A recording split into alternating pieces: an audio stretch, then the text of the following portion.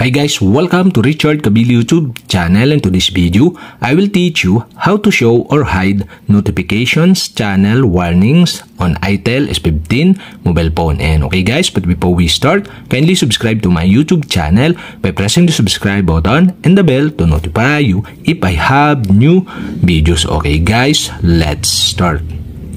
So okay guys, sir, in your ITEL S15 mobile phone, you'll have to do is go to settings In Settings, scroll down and go to System.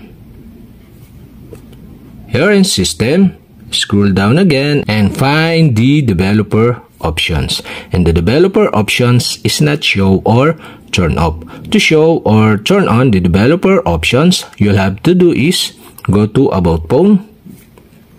Here in About Phone, scroll down and go to build number. And okay guys, to show or turn on the developer options, you'll have to do stop the build number 7 times, okay? 1, 2, 3, 4, 5, 6, 7. You are now a developer. And okay guys, go back and you can see the developer options here in system settings. And okay guys, you'll have to do is go to developer options. Here in developer options, scroll down and go to apps section.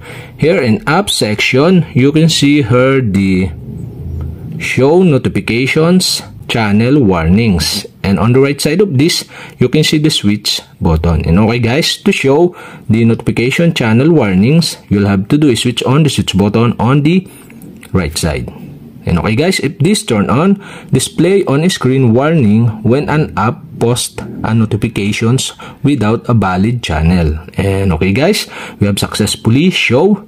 And to hide again, you'll have to do is switch off the switch button on the right side. And that's it. Okay, we have successfully show or hide notifications, channel warnings on ITEL S15 mobile phone. And okay guys, if you have a question, kindly comment below. And don't forget to hit the subscribe button and the bell to notify you if I have new videos. Okay guys, thank you for watching.